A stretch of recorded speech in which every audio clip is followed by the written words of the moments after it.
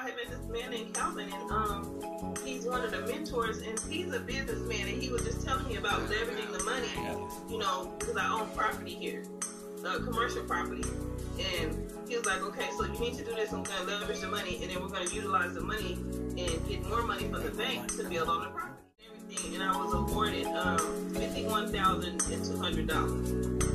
So you was awarded fifty-one thousand two hundred dollars just by taking action off of what I told you in a couple minutes. I did exactly what you said. I followed steps. I'm just a representation of me saying like y'all, y'all can do it.